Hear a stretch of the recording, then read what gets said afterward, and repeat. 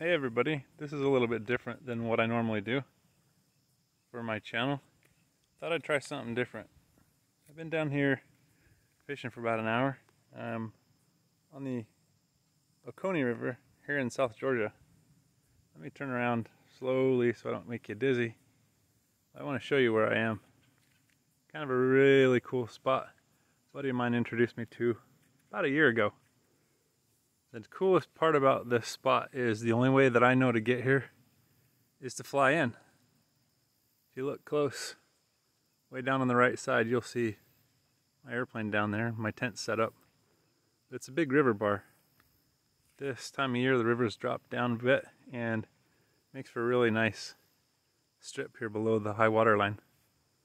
But I'll just turn around so I give you a whole idea of what I've got going on here. I don't want to turn you into the sun, but I forgot my bait at the house, and so I had to improvise. So I'm using some fresh stuff that I found here on the sandbar, and hopefully I can catch something. It'll get better tonight when it sun goes down. I'm always out for catfish, but I usually use old chicken, and it's frozen in the freezer. Had it loaded up yesterday. Had a slight issue with the airplane. Turned around, went back home, and made it out here today.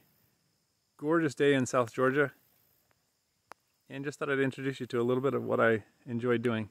I actually built my Kit Fox specifically for doing this kind of flying and I always wanted to do some camping and fishing with it. This is just the first time I've managed to make it happen. Hope everybody's having a great day and a good fall. We'll talk to you later.